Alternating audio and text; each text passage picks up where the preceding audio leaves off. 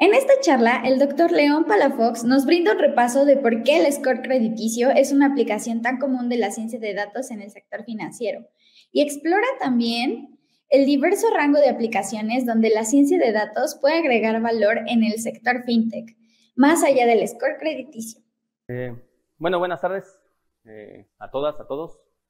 Eh, siempre, es, siempre es un placer venir a presentar aquí, es la segunda vez que lo hago.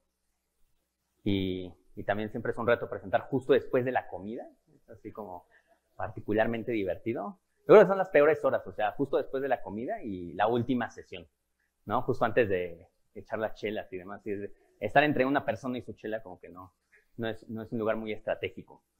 Eh, entonces, por eso, la plática que, que justamente digo, estuve pensando mucho, algo que a ustedes les puede interesar, tratar de hacerlo más ameno, o sea, justamente no, o sea, no, atascarnos de números la cabeza justo después de la comida, ¿no?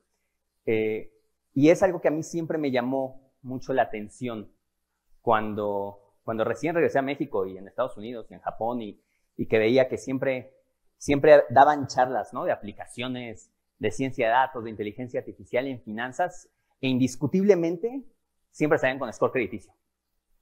Siempre era así como que les preguntaban en una entrevista, oiga, ¿para qué utiliza inteligencia artificial en finanzas? Ah, score crediticio. Oiga, no, pero este, y a 50 doctores diferentes de 50 universidades diferentes, ah, score crediticio. Y justamente digo, eso me ponía a pensar así de, oye, ¿realmente es lo único que hay? Digo, después de pasar por, por dos bancos razonablemente grandes, más de 10 millones de clientes cada uno, pues no, o sea, la realidad es que, es que hay más allá. Y justamente esta presentación, la idea es justo justificar por qué el score crediticio es tan popular a nivel startups, a nivel bancos, a nivel aplicaciones, eh, justamente tratar de, de, comprender, todos tratemos de, de, llegar a esa conclusión. Y también qué más se puede hacer. O sea, algo que me he dado cuenta es que muchas veces cuando, cuando están afuera de la industria, o sea, alumnos, profesores y demás, es muy difícil saber todo lo que pasa dentro, o sea, toda la serie de problemas que puede llegar a haber. Y a medida que ustedes puedan resolver esa serie de problemas, es que pueden hacer startups que, que en realidad puedan generar mucho más valor que un score crediticio. Entonces, el score crediticio es viejo, muy viejo. Eh, FICO se le atribuye el primer score crediticio propiamente ya hace más de 30 años, en el 89 FICO saca su primer score. Eh, el score de FICO es brutalmente hackeable, o sea, inclusive hoy en día, y el de, el de Buro también, ¿eh? eh es brutalmente hackeable, o sea, mucho de su peso es cuánto debes, cuánto has pagado, pero también la tasa de deuda que tienes. Entonces, entre más tarjetas de crédito tengas y si no tienen anualidad y no las usas para nada, tu score aumenta artificialmente, aunque realmente tú no estás haciendo nada fundamentalmente para mejorar el score. Entonces, hay varias personas que se han dado cuenta de esto. Obviamente ha tratado de haber iteraciones sobre, sobre el score crediticio. Pero a mí, a mí me gusta, o sea, el título de la presentación tal vez tal vez no lo denota, me gusta el score crediticio. Me gusta como aplicación, porque, además, digo, yo creo que todos aquí ya no, nos acordamos de esa época. En los 60, 70, si ustedes querían un préstamo personal, ustedes tenían que ir personalmente al banco. Dios los agarre confesados si no eran blancos, si no tenían un buen trabajo, si no iban de traje.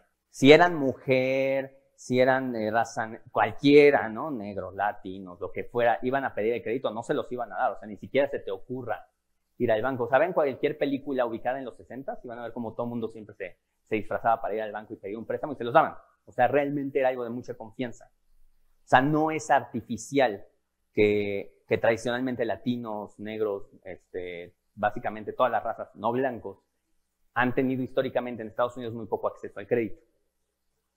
Y lo que logra el score crediticio es quitar a, ese, a esa persona en medio, a ese middle management.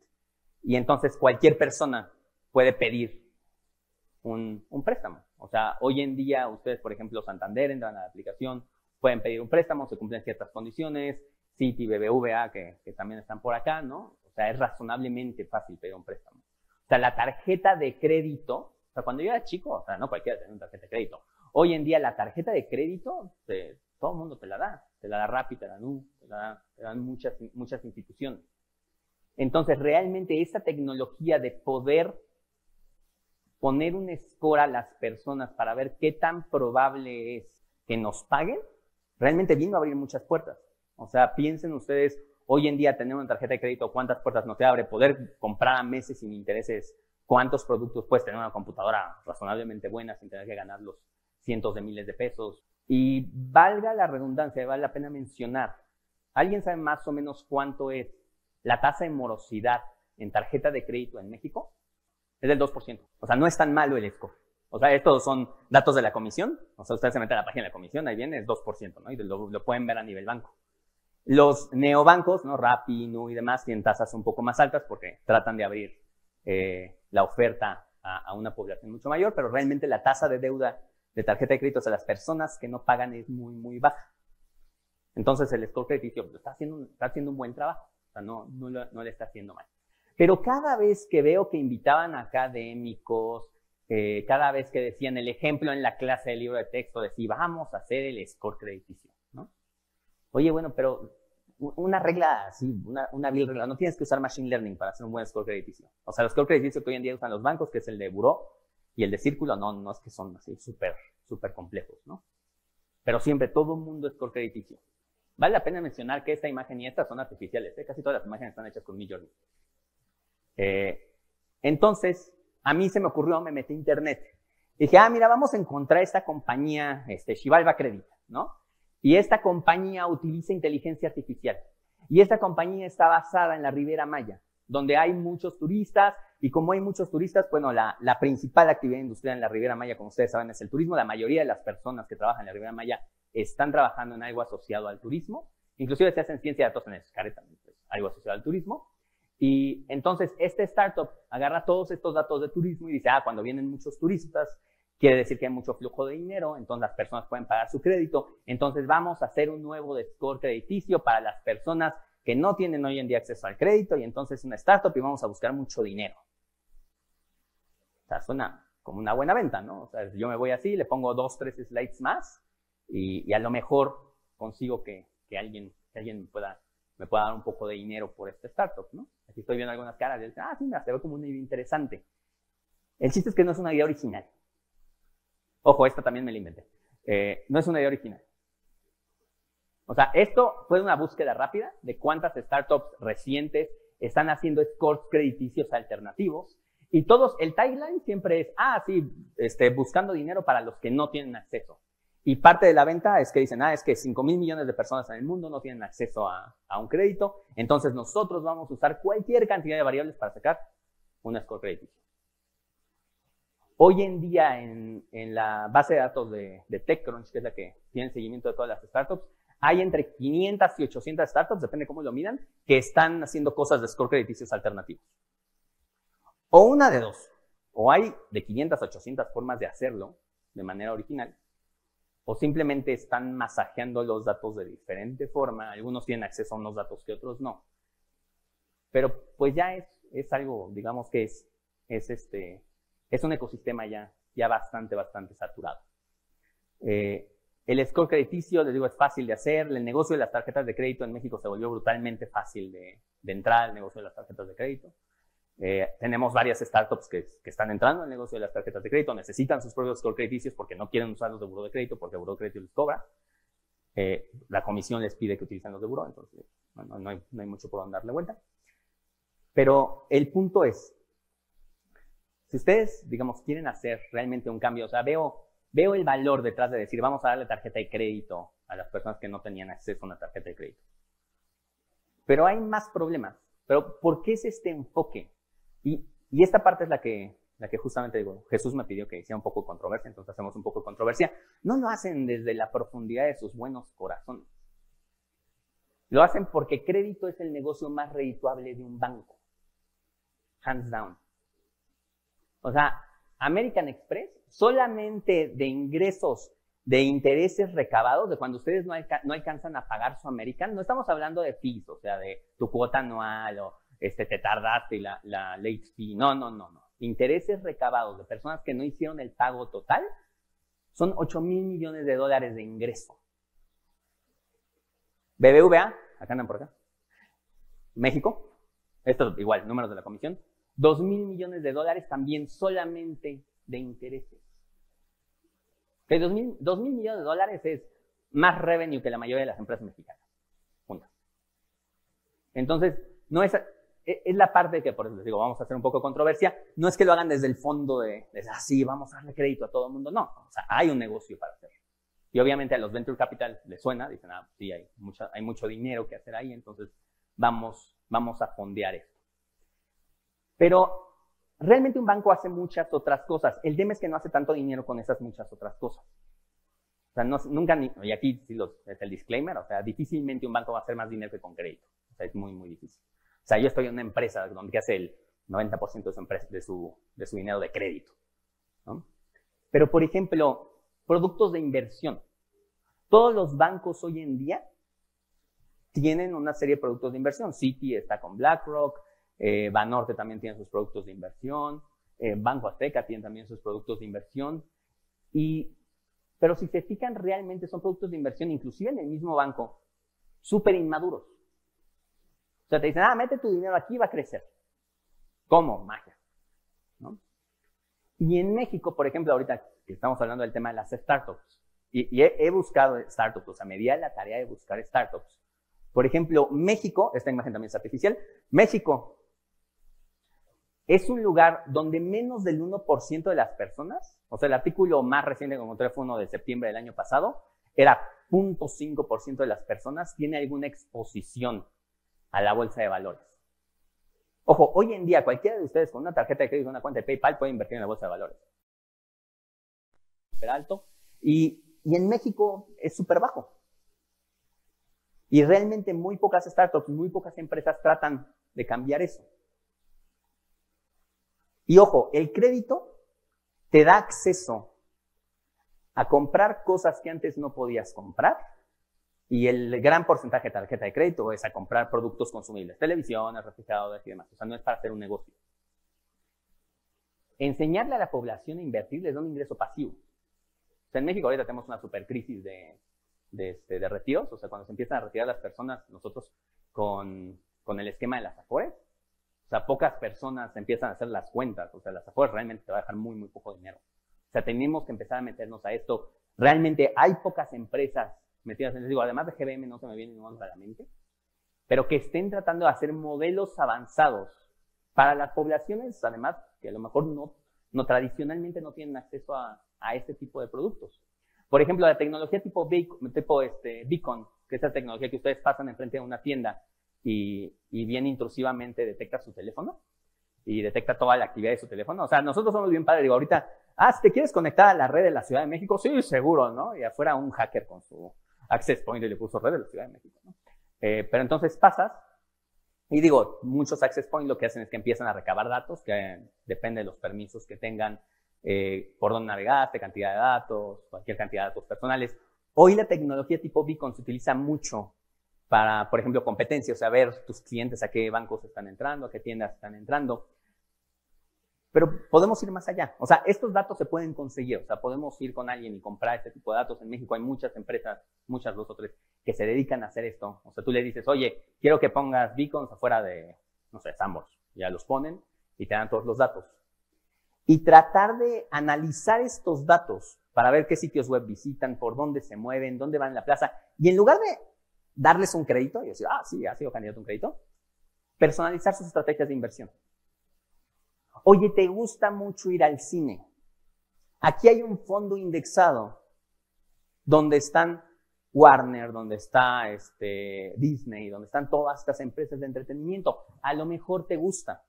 O, oye, yo noto que vas muy frecuentemente al City Market, ¿no? Donde digamos que hay productos así más sanos y demás.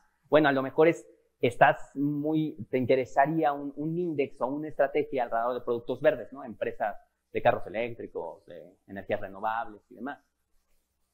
Oye, a lo mejor tú le pones gasolina de carro hasta cansarte tres, cuatro veces porque te encanta este, tu carro. Bueno, mira, aquí está un fondo confort con GM, este, con Tesla y hacer estrategias personalizadas para los clientes. E, esta idea se me ocurrió, o sea, no conozco ninguna empresa que haga eso, pero para que sea divertido invertir para ellos. Y obviamente a medida que van haciendo esto, bueno, digo, eventualmente podrán tener un patrimonio, puedan comprarse una casa. O sea, hoy en día tenemos esa gran crisis de que nuestra generación posiblemente no va a poder comprarse casas. ¿no?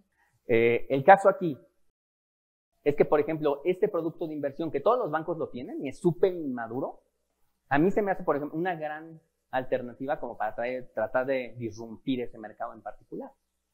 Los bancos no lo pelan porque inversión para ellos es dar dinero, lo cual no es necesariamente algo bueno, no es tan redituable. Pero de nuevo, cuando sale, digo, yo sé que hay gente aquí, pero cuando sale Rappi, cuando sale Nu, cuando salen este, otras startups que dicen, ah, voy a sacar mi tarjeta de crédito, digo, no estás haciendo nada fundamentalmente diferente. O sea, estás dándole el tú por todos los trancazos con Banorte, con Citi, con BBVA. Aquí sí estás haciendo algo innovador. Aquí sí estás tratando de cambiar el paradigma. Ojo, en Estados Unidos sí he visto este tipo de startups. O, por ejemplo, las operaciones bancarias. Y aquí me voy a, me voy a ir a un ejemplo de, algo que hicimos nosotros cuando, cuando yo estaba en otro banco. Eh, posiblemente ustedes conozcan el NPS. El NPS es el Net Promoter Score, en español le llaman el IPN. Para mí es muy confuso llamarlo el IPN. Eh, y este score es el que te dice las personas, pues, qué tan proactivas son en cuestión de promocionar tu producto. Y ojo, no nada más sirve para bancos. Este, van al Tox, lo pueden poner, ¿no? Este, es re divertido ir al Tox con mi hija porque ella empieza a picar la pantalla así al azar, ¿no? Y, yo me imagino al pobre data scientist del otro lado este, diciendo, ah, vamos a ver por qué no le gustó el servicio, ¿no? Y pone, pone emojis y cosas por el estilo. Entonces, el NPS lo que nos dice es, oye, ¿qué tan probable es que una persona este, utilice tu servicio y promueva tu servicio? ¿Qué fue lo que hicimos? Agarramos todos los datos de NPS, o sea, todos, todos, todos los datos. O sea, teníamos a nivel cliente, igual no son tantos. O sea, tienes un banco de 10 millones de personas, tiene 20 mil NPS, ¿no? O sea, realmente muy pocas personas contestan. La próxima vez que les llega una encuesta, contestan. O sea, piensen en el ustedes del otro lado que está tratando de hacer eso. Eh, entonces, agarramos, les digo, los 20, 30 mil encuestas, pero encontramos que existía una correlación razonablemente fuerte de una persona, un, un detractor y la probabilidad de que esa persona se saliera del banco. Pero no solamente encontramos la probabilidad de que fuera detractor, sino no es que lo tratas mal una vez y se va, o sea, lo tienes que tratar brutalmente mal para que se vaya la primera. Pero no, o sea, lo tratas mal una vez, mal otra vez, mal otra vez, y terminamos con un modelo que te predecía cuántas veces tenías que tratar mal a una persona para que se fuera del banco, ¿no? Entonces, digo, es, es una aplicación no te da los grandes millones porque lo que hace más que nada es maneja el churn, o sea, te controla el churn. Pero si tienes un modelo de negocio donde sabes cuánto vale cada cliente y dices, oye, estoy preveniendo que se vayan 100 mil clientes al mes, le puedes poner un símbolo de pesos a eso. No son 8 mil millones de dólares al año, de nuevo, pegarle a ese negocio es muy, es muy difícil. Pero se presta para datos muy padres. O sea, lo primero que hicimos fue que hicimos nuestro, nuestro tablero, esa también es artificial, hicimos nuestro tablero para que viéramos el NPS y utilizamos un modelo dinámico tipo Markov Chains, cadenas de Monte Carlo, para ver cómo iban evolucionando los clientes y cómo se iban moviendo los estados. Y les digo, además se presta mucho para eso, para utilizar modelos mucho más divertidos. Y entonces utilizamos campañas dirigidas, o sea, justamente por mail, por la app, eh, este, por los diferentes canales de comunicación, donde podíamos decirle a las personas, oye, vimos que tienes un FPS bajo, no les decíamos abiertamente eso porque se iba a sentir medio stalker, pero les decíamos, oye, ¿te interesaría probar este nuevo producto? ¿Cómo crees que podríamos mejorar eh, para funcionar mejor? Encontramos que si éramos más insistentes a la hora de que contestaran la encuesta, nos daban mejores calificaciones, o sea, si estamos dando mucho seguimiento. Entonces, te digo, eh, eh, o sea, en Banorte, no sé si de repente notaron que les empezaron a llegar muchos más mails de seguimiento cuando hacían un servicio y demás, era esencialmente por eso. Pero justamente esta es la parte de operaciones de un banco. O sea, no es la parte que genera dinero directamente, pero la parte que evita que se vayan los clientes. Y esto no solamente sirve para un banco, sirve para este, una telco, sirve para una página web que tenga suscriptores. Pero, por ejemplo, ustedes pueden hacer una startup donde les digan a las personas, oye, dame tus datos de NPS, dame los datos que me puedas dar del banco, ¿no? O sea, cuánto vale tu cliente, qué tipo de productos tiene y demás. Y una vez que tienes todo eso, tú puedes dar un modelo como producto, o sea, un modelo as a service, donde cada vez que caiga un NPS nuevo, tú le estás regresando vía un API una calificación de qué tan probable es que ese cliente se vaya a ir y que esté la interacción tal y realmente generar mucho valor para el banco. Esto yo casi nunca lo he visto implementado y a la fecha no sé de una startup que lo haga. Te venden campañas marketing y demás, pero así de, de enfocado no. Y de nuevo, también es fintech. El tema, y así como haciendo un paréntesis, es que muchas veces fintech lo reducimos a crédito. O sea, ustedes busquen compañías de fintech y ven el top 10 y todas alguna variante de crédito. ¿no? O sea, ofrecen tarjetas, ofrecen créditos, ofrecen pagos a el, dichoso, los, este, Buy Now, Pay Later, BNPL, que al final es un crédito. Entonces, todas son alrededor de crédito. Cuando en realidad el ecosistema fintech es mucho, mucho más rico, mucho, mucho más saludable. Entonces, bueno, tenemos dos casos. Tenemos el, tenemos el, este, el caso este, el del Net Promoter Score, y tenemos el de inversiones. Y el último, y que justamente se me escapó Carl, que su startup es de eso, es analíticos de fraude. hoy en día, las startups de analíticos de fraude en Estados Unidos están creciendo exponencialmente. En México realmente no he visto muchas, o sea, sí he visto una o dos, me han llamado la atención. Es un área muy, muy verde, o sea, es muy, muy fértil, porque la razón principal es que formas de hacer fraude siempre va a haber. O sea, cuando es como un barco haciendo agua, o sea, tapas un hoyo y empieza a salir de este lado, ¿no? tapas este y empieza a salir de otro lado. O sea, aquí, digo, les cuento igual mi experiencia personal. Aquí era fraude asociado directamente a la aplicación móvil. Y cuando empezamos a trabajar en ese fraude, era un fraude, a lo mejor a alguno de ustedes les ha tocado, que les pedían instalar TeamViewer o alguna especie de aplicación que le permitiera a la otra persona tener acceso a su teléfono y ya desde ahí programaban un retiro o cosas por el estilo, ¿no? Hicimos un modelo justamente, bueno, para tratar de salvaguardar eso. De hecho, algunas aplicaciones de banco ya no te dejan compartir la pantalla, o sea, lo tienen bloqueado justamente por eso.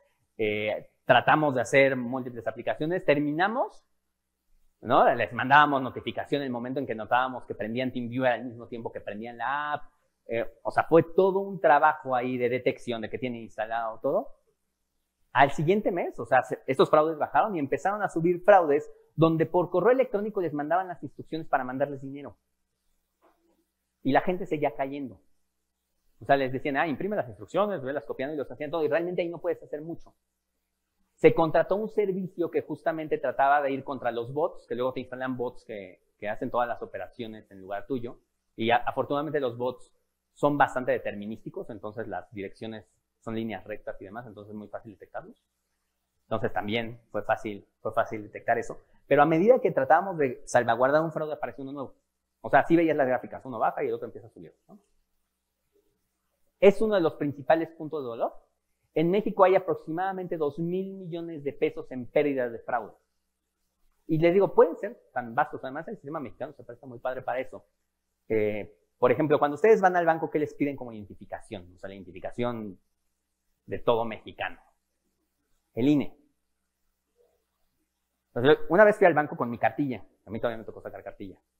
Y llegué al banco y me dijeron, no, es que la cartilla no vale como identificación. O sea, para la cartilla me tuve que ir a, formar a toreo. Tuve, no marché, pero me tuvieron corriendo todo un día. Tuve que llenar 40 millones de papeles para que me digan que no vale. Cuando el INE, yo puedo agarrar aquí a dos personas de confianza, vamos, nos paramos, díganles que me llamo José Pérez y me van a dar un INE bajo el nombre de José Pérez.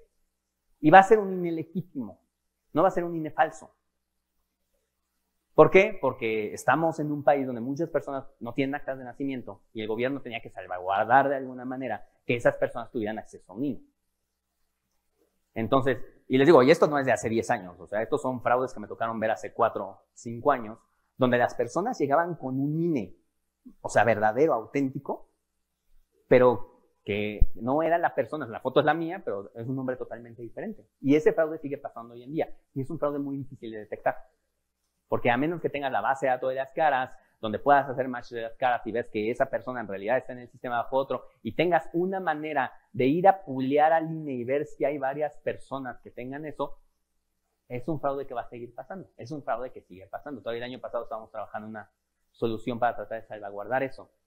Y sin embargo, hay casi tres veces más startups de crédito que de fraude. O sea, para mí como cliente, y esta es la parte importante también, para mí como cliente de banco, es fundamental más, fundamentalmente más importante que mañana no me hagan un cargo no reconocido de 20 mil pesos a que me nieguen una tarjeta. O sea, imagínense, ustedes de repente les cae un cargo, tienen que hablar, por lo general les cancelan la tarjeta y tienen que esperar están sin tarjeta un buen rato. Y en cambio, si, si simplemente dices, ah, es que quiero una tarjeta nueva, ah, no, no puedes, porque el score de crédito dijo que no, ¿a ustedes qué les afectaría más? O sea, ¿qué les derrumpe más en sus vidas? Sea, digo, esperemos que no llegue ese cargo cuando en realidad necesitan el dinero. Entonces sí va a ser una, una irrupción bastante, bastante fuerte. Y sin embargo, hay pocas startups dedicadas a eso. O sea, de hecho, ahorita si me pregunta voto pronto, conozco una, que es la de Carl que presentó en la mañana, y no conozco más en México. O sea, no suenan más. Y ojo, que han llegado a presentarme en Banorte, acá, este, startups y demás, y todas son así de, ah, sí, usamos Machine Learning para mejorar el score crediticio. Ah, usamos Machine Learning para hacer perfilamiento de clientes. Ah, usamos Machine Learning para... Pero para fraude son muy, muy pocas. Han llegado una o dos, son, son muchas, ¿no? Y el tema del fraude también, es que el fraude, el fraude es muy discriminativo con la edad. O sea, este dato, digo, no les puedo pasar el dato exacto porque este, no se los puedo dar, pero el 80% de los fraudes, la mayoría de los fraudes, las personas que son más afectadas son adultos mayores, invariablemente. ¿Por qué? No están familiarizados con la tecnología, eh, pues realmente, o sea, tienen una app de por sí, utilizar el teléfono es algo que ellos a lo mejor no están acostumbrados a hacer. Las personas mayores, para bien y para mal, confían cuando alguien les llama y les dice, oye, te estoy hablando de Citi, Banamex y tienes un cargo no reconocido. Y confían, o sea, son personas que confían, que dicen, ah, sí, en serio, no, sí, les pasan todos los números y demás.